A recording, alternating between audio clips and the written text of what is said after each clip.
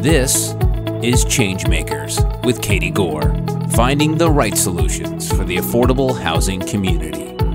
Thanks for joining me once again for my talk with Changemaker Tony Kimbrough, the CEO of VEO, the Veterans Empowerment Organization, the largest nonprofit in Georgia providing direct services to military veterans in need. Tony, we've discussed the work that you're doing to help house our heroes, but we all know it takes a village. So, who are some of your valued partners?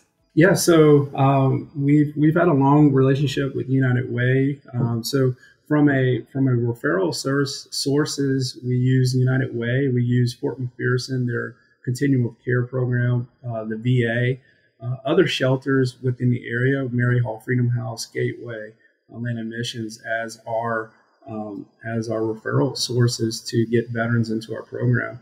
Uh, and, and veterans will find us on Google and come in off the street from, from a housing standpoint. Uh, from our mental health, uh, we work with uh, Emory Healthcare, we work with the Shepherd Center, uh, we're partnering with uh, Operation Headstrong, um, which is they provide mental health services. we work with the Recovery Zone for recovery services and for substance abuse services as our kind of as our our partners around uh, substance abuse. Uh, we work with Warrior Set Free because we feel that you need the full gamut of when we're talking about wellness, and so they provide a lot of our wellness, uh, our spiritual wellness support for our veterans because uh, we look at this holistically. And so Warrior Set Free is one of our major partners when it comes to spiritual wellness, as well as local churches in the area. Uh, when veterans say that they, they raise their hand and say they want that to be a part of their, their journey. Uh, we partner with various organizations when it comes to uh, workforce development. Uh, what we decided to do was not create our own workforce program and say, hey, we want everyone to be culinary or get a CDL or these different things. And so we have a full gamut of partners out there where we can provide whether it's mechanical training or CDL or cybersecurity or just restaurant management so our workforce development will allows them to pick a field and an opportunity uh, in a company that they would like to work for, and we are able to really get them job placement or internships into various industries just because we have a variety of networks that we can plug a veteran into based off of their skill set and their desire to work. And so uh, those are really how we go about doing it. is really through more partnerships, and our focus has been really around being really solid on the housing side of the house, be the expert on housing, and uh, and then utilizing the partner network within Atlanta to deliver quality uh, and intentional service back to our veterans.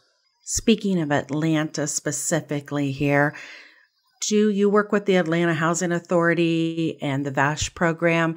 Are there specific successes, or do you think there's some program overhauls or recommendations that you're seeing from an operator's point of view? I think there's always room for improvement. When you're dealing with, um, you know, the federal government, if you want to say the bureaucracy that's there, um, there's nonprofits and for-profits can be a lot more innovative and creative a lot faster than our federal government can be. Um, you know, there takes a lot to change process and procedures on the government side. And so, you know, being respectful to that, understanding, you know, that yes, there's there's ways that uh, each of those programs could be a whole lot more effective in how they, you know, run their program, how they work with either landowners, but also the participants, how we can quickly identify uh, folks in need and get them their vouchers uh, that they need as quickly as we possibly can. Um, when you're the, the wait list to get a HUD-VASH voucher uh, can take months for, for a veteran um, that's looking for a HUD-VASH voucher. Uh, and the amount of vouchers that the city of Atlanta or uh, that they have, uh, quite frankly, is just not enough for the city. Uh, and then you have other parts of Atlanta or counties that are only using utilizing half of their their vouchers. So there's got to be a mechanism where these vouchers can quickly be uh, dispersed and utilized based off of uh, need versus based off of just saying, hey, you have X amount of vouchers um, because you're this county. we need to look at this a little bit differently around, hey, where's the need, and then how do we get that voucher to to the person in need versus it's dedicated to a county or to a city or to the state. I find that it's it's a lot easier to go through the DCA, the, the Department of Community Affairs for Georgia, to get a HUD-VASH voucher, less red tape, um, and mm-hmm. a little bit easier to to move along than it is. Um, I hate to say with the city of Atlanta. Um, and so we've utilized a lot more of their vouchers than actually the city of Atlanta just uh, due to that. But I also think that there needs to be a lot more requirements on us, the nonprofits and the, the landlords um, in this process as well. There has to be a greater accountability to providing high quality living for the participants. and, and nonprofits and landowners and homeowners, uh, landlords um, really needed to keep up with their property um, and really need to go above and beyond uh, and not look at it as, hey, I receive a voucher and this person is not really paying, and look at them as a really a truly a paying customer uh, and take care of their property so that they feel value in the home that they're living in. Um, and that's, um, you know, some of the things that what we are trying to do is when they move in, uh, these places are brand new, they look good, but we're going to maintain them because we want them to feel valued in their space and in their home and hopefully that that will resonate into their community as well. Are you seeing any developers do new builds that are specifically targeting veterans?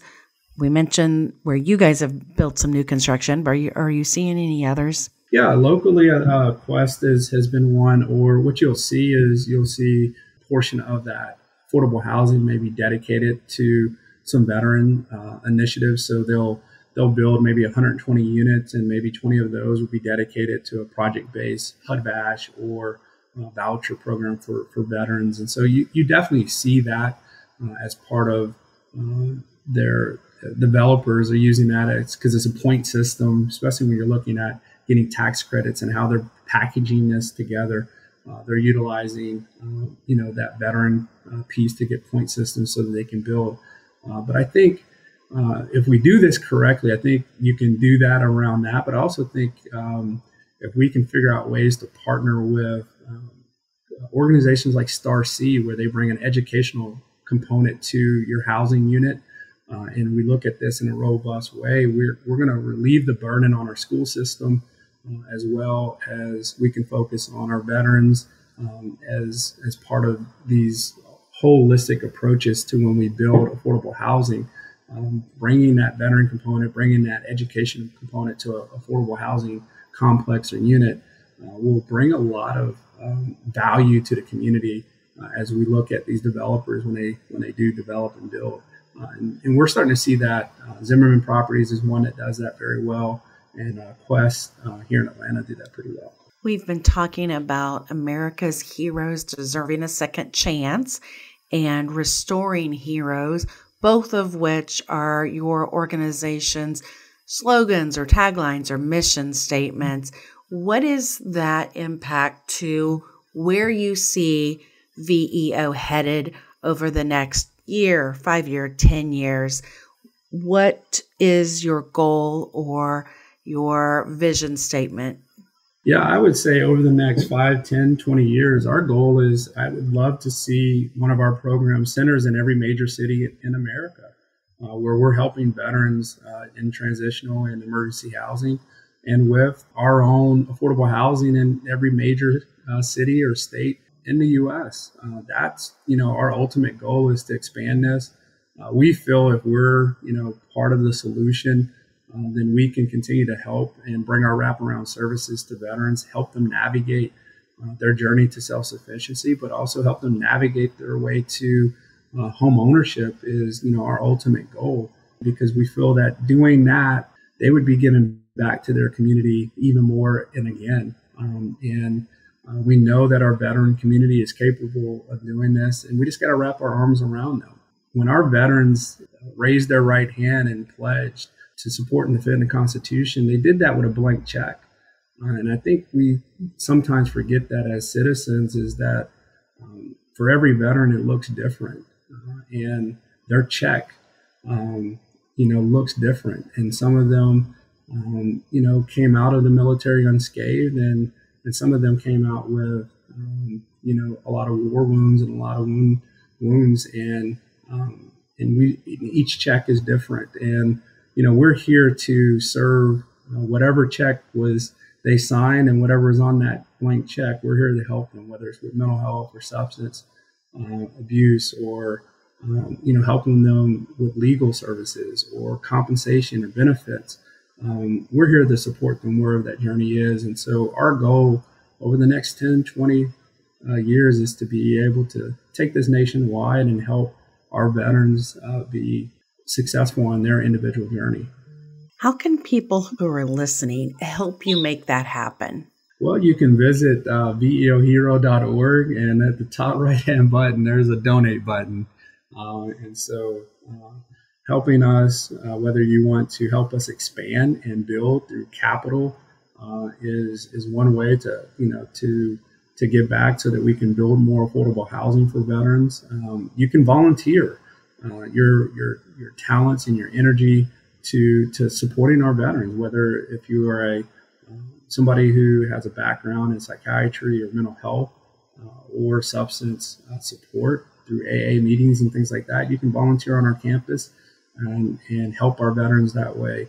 Um, you can hire a veteran uh, and get to understand how they think and and what they bring to your to your organization uh, begin to, to truly hire them. But not only when you hire them, really look at your HR policies uh, and, and, understand when you hire a vet, uh, they might need a little bit more uh, leniency around calling off because they got to get to a VA appointment. And so having an understanding of those needs uh, is a way that you can give back not only to us, but to every VSO, uh, veteran service organization out there by understanding who you're hiring um, and how you're supporting them. Because it takes us all whether you're a business owner or another organization out there supporting veterans, uh, our community, uh, to really, uh, if we're going to say that our heroes deserve a second chance, our heroes are what represents the best of America, then, you know, as citizens, then uh, we need to really think about how do we, uh, how we're giving back. And, and when we say thank you for your service, what does that really mean? Do you know what that service was?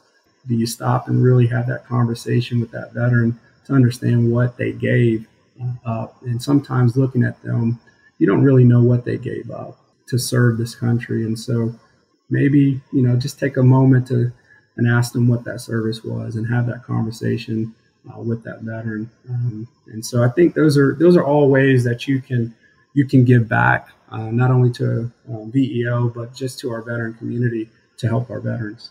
That's why I think it's so impactful to have this discussion because there's a clear gap or disconnect between the service that has occurred and homelessness. You know, those two things should not be coexisting. And then when you layer in the ability to purchase a home or afford rent in certain markets, it's almost like the veterans, once they serve, we should be able to hand them a home ownership grant of some type to be able to buy a home, something so basic that should be automatic just in exchange for their service. And yet we fall short that we're even discussing veteran homelessness. Yeah, I, I would I would completely agree with you. I mean, I, I just don't I don't know, um, and it's not to get on politicians, but I don't know how you can sit there and say, you know, thank you for your service and allow our VA health system to be run the way that it's run in, in some communities, how veterans can end up homeless.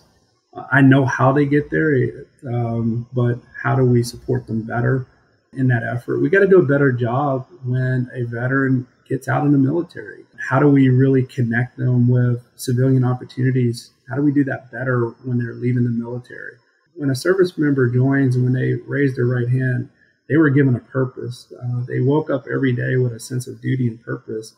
Um, and that goes away um, as soon as they leave the military. And so, how do we prepare our veterans better and our, our servicemen and women better to handle that civilian life when they leave? Especially when you take an 18 year old kid and the way that we recruit it uh, for the military over the last um, let's call it 20 or so years, I'm going to tell you honestly, we went to urban America and we went to rural America and promised these kids that they're going to be able to go around the world and get a college degree and all these different things. And a lot of these kids didn't come from great backgrounds, uh, and that was a way out. And so, how do we prepare them uh, when they do get out? Because they may not necessarily have the greatest of backgrounds and exposures. How do we prepare them for civilian life? Uh, we train them to be warriors and to to, to fight an enemy, uh, but we didn't train them to prepare them for what life after the military is going to be, life after a sense of purpose, what that's going to look like. Um, and so we've we've felled them from a from a basic uh, training standpoint, but also um, preparing them for life after the military. Uh, and it's, it's, it's systematic. It's it's happened um, since the beginning of the military, and so we have to really wake up uh, to this uh, and really put forth an effort uh, if we truly want to end uh, homelessness, if we truly want to address mental health, if we truly want to address substance use, we have to recruit better for the military, train better, and and look at uh, how to truly help a, a, service member really exit the military in a way that they can rejoin a civilian life that they never ever truly experienced uh, especially an 18 year old kid who came in, they never really truly experienced what a civilian life looks like because they were told what to do, where to go, and when to do it for however long that they'd spent in the military. And that's not how life is on the civilian side. And so that is a that's a culture shock uh, to the system when they leave. Tony, could you share with us a life changing moment that you've seen when an unhoused veteran moves into their new home? Yeah, I mean, we see this every day, you know, just given an opportunity. One that comes to mind, um, I won't say the gentleman's name, but um, one that comes to mind was a gentleman who literally traveled from from, from Texas uh, to Atlanta to be in our program. Um, and when he got there, he he said, "Hey, I, I, just don't trust anybody. I heard about you guys, and I really don't even trust you guys when we give you a shot." and uh, he spent uh, roughly about six to nine months with us. Uh, we were able to partner with one of our local community partners here, City of Refuge. Um, we were able to get him into the NAPA program, uh, and he really wanted to be a mechanic and to get back into uh, into that field. And he went and got, I think, 20 different um, certifications, mechanic certifications while he was here. He was able to save up money and get his own housing, uh, and was now working with MARTA uh, as their one of their uh, mechanics on the, the MARTA train system, making roughly 60k a year. So somebody who didn't have anything coming in is now left with um, 60k, and and what I find. Um, because with this one, we had to. It was a lot of tough love. We had to tell tell him you know what we really thought. But not every veteran is like that, and so some need a little tender touch, and some needed a uh, you know a little kick in the butt. And he was one of that need a little kick in the butt, but he also needed to find that trust in again and be able to trust people and be able to because he had been let down so many times by either organizations or the VA or whatnot, and so. Um, but he found that trust in us. He, he bought in. He leaned into his his program and you know left here with a house living with another veteran making 60k a year uh, and uh, when he had you know, he came in with nothing on his back on a on a greyhound and so uh, that's you know one of those things you probably can i'm smiling through the phone on this one just because of how impactful and we have stories like that where folks have come in here and got jobs at apple making $120000 a year and they didn't. They came in with zero and uh, and left. You know, with a with a job or working with Krystals as a regional manager or uh, now managers at one of our hotels uh, downtown. And so, um, and I'm our veterans are capable. They just need uh, sometimes they just need an opportunity and somebody to to truly care about their journey. Uh, and once they realize that they uh, somebody's there helping them along the way, that there it opens the door for them to be, you know, successful. Well, I hear your passion and we know what your vision is. I understand why You won the Atlanta Braves Community Heroes Award last year. Several of us listening want to now see you take this nationwide because there's clearly such a need, and you guys have program parameters to make this successful. So tell us as we wrap up here on the last question. It's one thing to win a Community Heroes Award, but how do you now leverage that for your organization? What, what does that mean for you now?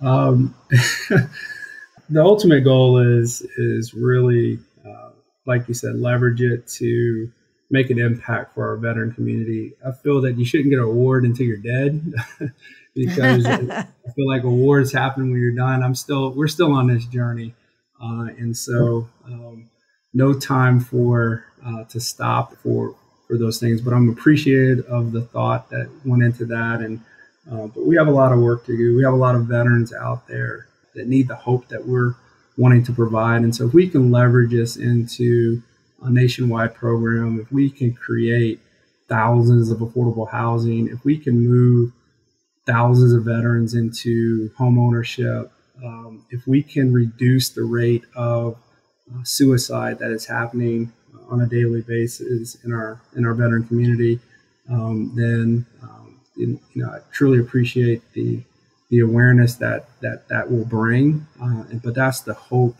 um, when that happens is that we bring awareness to what's happening in our society and in our community, and we hope that there's change that comes from that. And so, uh, winning that award, if that allows that to happen, then uh, that's a for me that's a that's a success.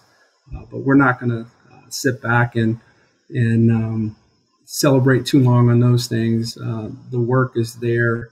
Uh, there's too many veterans in need. There's too many veterans each and every day contemplating suicide. There's too many veterans living out of their car in fear of domestic situations and things like that that we have to address. Uh, and we got to get serious about as a nation. Uh, and I hope that um, you know people listening will will go to their um, their their community leaders and to their their politicians and let's figure this out together uh, with other VSOs so that we can address this as a nation.